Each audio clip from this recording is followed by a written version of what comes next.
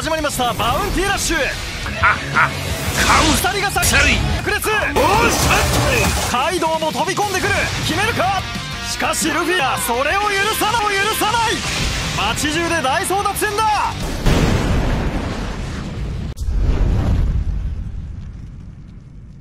Hey yo, cok cok squadku semuanya balik lagi bersama gue Macoko kawan-kawan. Alright teman-teman, ada kali ini gue akan membahas sebuah sesuatu teori kawan-kawan yang di mana ini teori ada dari teori orang lain dan juga nanti terakhir bakal gue kasih teori dari gue sendiri. Nah namun sebelum itu jangan lupa untuk subscribe, like dan share. Oke, nah jadi gini kita mulai dulu kawan-kawan.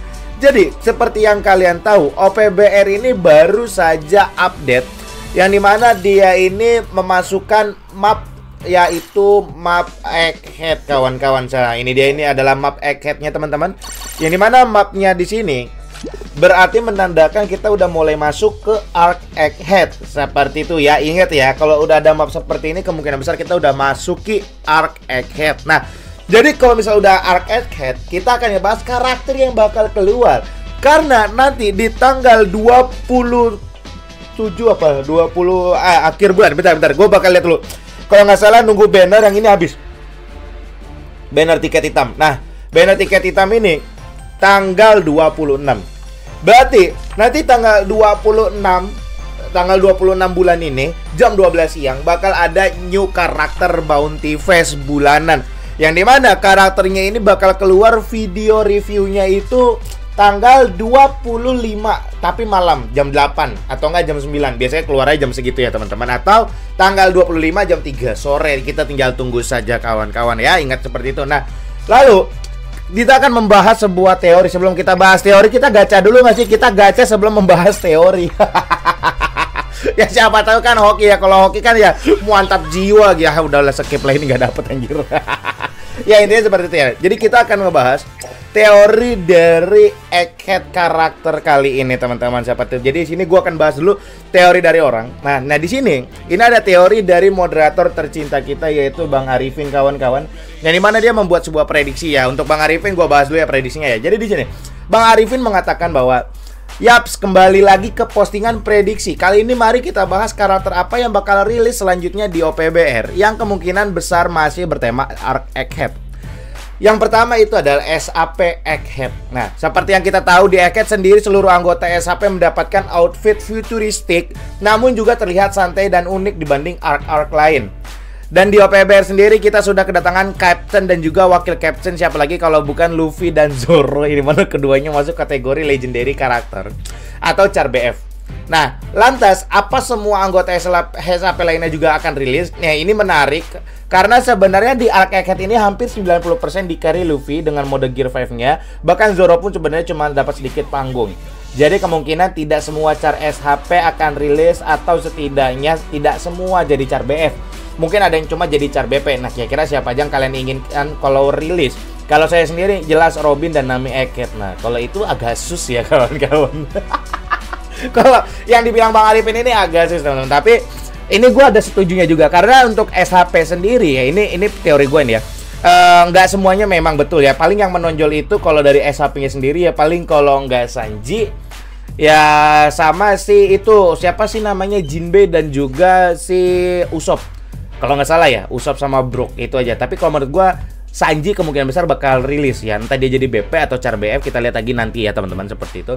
Lalu yang kedua adalah Vegapunk dan keenam satelitnya. Nah, untuk Vegapunk sendiri sejujurnya saya masih 50-50 dan kemungkinan cuma jadi medal event. Mengingat Vegapunk bukan tipe car petarung namun satelitnya ada beberapa yang mampu bertarung contohnya Atlas. Jadi kira-kira Vegapunk akan rilis sebagai car yang bisa dimainkan. Hmm, kira-kira skillnya seperti apa ya? Oke. Lalu selanjutnya adalah Seraphim. Yap, kali kalau ini sih kemungkinan besar 90%-nya semua Seraphim bakal rilis karena dua di antaranya sudah muncul di Egghead yang udah rilis di OPBR. Ya yaitu ada Snack dan juga ada Seraphim Hawk. Dia udah keluar seperti itu. Nah, kira-kira role dan elemen apa yang cocok untuk Bear dan juga Shark? Nah, kalau Shark kemungkinan besar dia runner. Kalau Bear kayaknya defender. Kemungkinan besar ini masih prediksi aja ya. Lalu selanjutnya ada Bonnie Bonnie sendiri menjadi salah satu char penting di arc ini. Kemungkinan dia juga bakalan rilis jadi char playable. Tapi mungkin menunggu momen cosplay nikah dia. Ya mungkin dia oh, itu agak gua gua lupa ya kalau kalian yang nggak tahu itu dilewatin aja ya. Itu ya mungkin itu saja cara Egghead yang sampai timeline untuk saat ini meskipun sangat tidak menutup kemungkinan mereka juga bakal rilis karakter di luar peristiwa yang terjadi di Egghead seperti Sengs Kamusari yang punya tag Egghead masih ada peristiwa di Marijoa seperti itu. Lalu selanjutnya ada markas BB dan juga BB versus Lau ya masih ada karakter-karakter yang di luar Egghead itu sendiri tapi masih masuk ke dalam tema atau arc yang ada di anime ataupun di manganya sekarang ya kawan-kawan. Lalu mengapa tidak ada Kizaru atau Saturn lagi-lagi karena ini di animenya mereka belum sepenuhnya tiba di Egghead namun jelas mereka punya kemungkinan tinggi untuk rilis di masa mendatang. Betul, gue setuju. Dan uh, buat yang nanya kapan New X, New X paling dekat kemungkinan akhir tahun pas jam Festa atau awal tahun ketika memperingati tahun baru. Dan juga Anif kena PBR pada bulan Januari Februari jadi persiapkan adik kalian benar.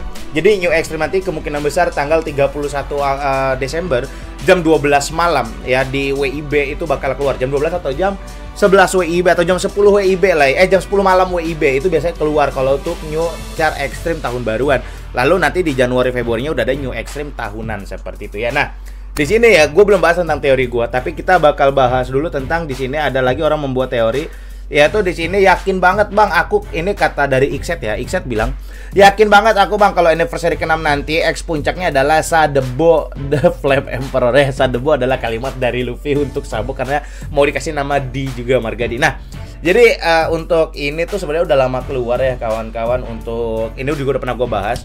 Lalu kalau ditanya apakah Sabo bakal menjadi New Extreme? Ya kalau misalnya ya menurut gue gini Sabo yang kalau ada titel yang barunya yang Flame Emperor itu ya menurut gue juga cocok jadi ekstrim. Namun kalau kalian lihat di sekarang itu untuk di manga ataupun animenya kita nggak melihat sama sekali jurus yang berarti dari seorang Sabo ini. Bahkan yang kemarin terakhir kita lihat itu hanyalah jurus penghalang api untuk kabur. Ya lu masa mau jadi karakter ekstrim cuma jadi penghalang api kan nggak mungkin. Atau mungkin nanti Bandai akan bekerja sama dengan Oda untuk merilis skill berbeda ya. Karena seperti yang kalian tahu Sengs Marineford pun dia berbeda untuk jurus-jurusnya ya. Kawan-kawan Sengs Marineford dulu kan gak ada jurus di anime. Tiba-tiba udah punya skill itu kan artinya udah kerja sama. Nah lalu selanjutnya gini guys. Ya gue akan bahas tentang teori gue dan sini kita akan ngebahas sedikit dari teorinya Bang Arifin sendiri. Nah jadi di sini gue udah pernah uh, kasih tahu ke kalian bahwa Seraphim untuk S-Beer dan juga S-Arc gue udah pernah bahas dan gue udah pernah bikin kontennya juga yang yang kemungkinan besar bakal keluar juga. Lalu selanjutnya untuk Boni Boni kemungkinan besar juga bakal jadi playable tapi ya gue nggak tahu dia dalam mode yang seperti apa ya kawan-kawan. Tapi menurut gue itu kemungkinan besar keluar. Dan selanjutnya adalah kalau kalian lihat kita uh, karakter uh, untuk ini adalah urutan karakter ekstrim ya teman-teman seperti itu. Nah kalau kalian lihat di Egghead sendiri itu kita men telah mendapatkan beberapa karakter. Contoh di di apa namanya di Arc Egghead kita ada empat uh, posisi. Yang pertama adalah posisi dari SHP ya atau dari bajak laut itu ada SHP bajak laut. Lalu juga ada dari World Government itu ada CP0. Lalu selanjutnya ada Vegapunk itu untuk daerah uh, wilayahnya Ark Vegapunk itu sendiri. Lalu yang terakhir adalah Seraphim yang menurut gue Seraphim di sini masuk ke kubu yang berbeda seperti itu. Nah, kalau dari SAP sendiri seperti yang udah dibahas, kita mendapatkan Zoro dan juga Luffy. Lalu kalau untuk dari CP0 kita udah mendapatkan seorang Luci dan Kaku dan terakhir dari Seraphim ya dari Seraphim kita mendapatkan Snake dan juga S How dan terakhir di posisi yang apa posisi keempat yang berbeda adalah Vegapunk. Nah, menurut gua Vegapunk bakal keluar seperti itu ya. Jadi Vegapunk apa Bang yang keluar? Gua di sini udah punya beberapa hal ya kan-kan ya. Ini seperti yang kalian lihat, ini adalah Zoro ya teman-teman. Ini Zoro yang keluar di OPBR ya bersamaan dengan Luffy juga. Artinya udah keluar SHP yang di mana SHP 2 BF, eh, Seraphim itu satu BF satu ekstrim, terus juga si P0 satu BF satu ekstrim juga. Nah, lalu di sini kita akan bahas untuk Vegapunk ya. Vegapunk apa yang bakal keluar? Kemungkinan besar yang pertama itu adalah Vegapunk dari Atlas. Karena menurut gue ini yang paling menurut gue masuk akal untuk keluar Vegapunk Atlas. Badannya bakal sebesar Big Mom ataupun Kaido ya kemungkinan besar karena badannya dia gede. Lalu serangannya menurut gue dia masih pakai serangan pukulan tangan. Dia mirip kayak guard pakai tangan kosong mungkin memberikan efek knockback kepada musuh dan mungkin role dia itu adalah defender. Untuk elemennya gue nggak tahu ya kawan-kawan, tapi menurut gue dia adalah defender seperti itu ya. Lah, eh enggak, dia ini attacker. Sorry, salah. Kemungkinan besar dia attacker karena selama main selama main dia ini selalu menyerang mulu ya tidak bertahan dan ini kemungkinan besar jadi Char BF yang bakal keluar tanggal 26 nanti ya dia attacker dengan efek knockback juga ya teman-teman lalu kalau Char BF nggak mungkin cuma satu pasti ada satu lagi karena dari empat posisi SHP udah keluar dua Seraphim udah dua, CP0 udah keluar dua, dan Vegapunk kemungkinan besar juga keluar dua. Satu lagi siapa bang? Ini dia. Yang kemungkinan besar itu adalah Vegapunk Lilith. Ya, jadi Lilith ini kemungkinan besar yang bakal keluar di dalam OPBR nanti. Bang Lilith kan nggak punya serangan. Jadi Lilith menurut gua dia bakal menjadi sebuah karakter playable entah dia menjadi defender ataupun menjadi runner. Namun untuk serangan ya kemungkinan besar seperti yang gue bilang mungkin Bandai akan uh, mengambil sedikit informasi yang ada di uh, anime One Piece ataupun minta izin sama Oda untuk bertanya apakah serangan yang bagus dan kemungkinan besar Seraphim Lilith ini eh sok Seraphim lagi uh, Vega Pang Lilith ini bakal menggunakan alat-alatnya. Seperti kalian seperti tahu di animenya Lilith ini memiliki sebuah alat atau tongkat untuk menyerang ataupun bertahan. Kemungkinan besar dia nanti juga bakal seperti itu. Ya jadi entah dia attacker atau defender gua nggak eh attacker atau runner atau defender ya gua nggak tahu tapi menurut gua dia defender. Kalau nggak runner ya paling lari gitu ya menurut gua. Ya who knows lah ya. Tapi ini uh, prediksi dua gua itu ya Atlas dan juga Lilith yang bakal keluar nanti. Karena ingat di eh, Vegapunk setahu gua ada empat posisi yaitu Pirates bajak laut itu ada SAP lalu CP0 atau World Government itu. Ya kawan-kawan lalu ada dari Vegapunk itu sendiri dan terakhir itu ada dari Seraphim.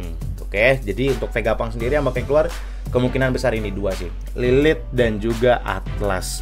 Ya kita lihat nanti aja lah ya teman-teman apakah memang dia bakal keluar nanti tapi ya bagi gue itu yang paling masuk akal gitu ya. Jadi pendapat kalian gimana? Kalian bisa tulis di komen begitu. Oke teman-teman. Jadi untuk video kali ini kayaknya hanya segitu aja ya kawan-kawan. Gue memberitahukan sebuah teori yang di mana dari seorang Bang Arifin, yang di mana gue sedikit agak setuju juga ya tentang uh, si siapa namanya Boni juga ya kawan-kawan.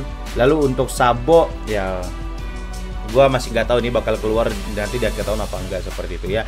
Ini teori dari Xset seperti itu oke? Jadi itu saja teman-teman untuk video kali ini. Terima kasih udah pada nonton. Jangan lupa untuk subscribe like dan share. Sampai jumpa di video selanjutnya. See you bye bye dadah